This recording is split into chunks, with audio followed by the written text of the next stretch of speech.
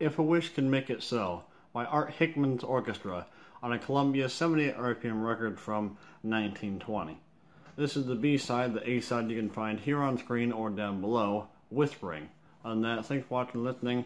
Hope to see you guys down in the comments below or in the next video.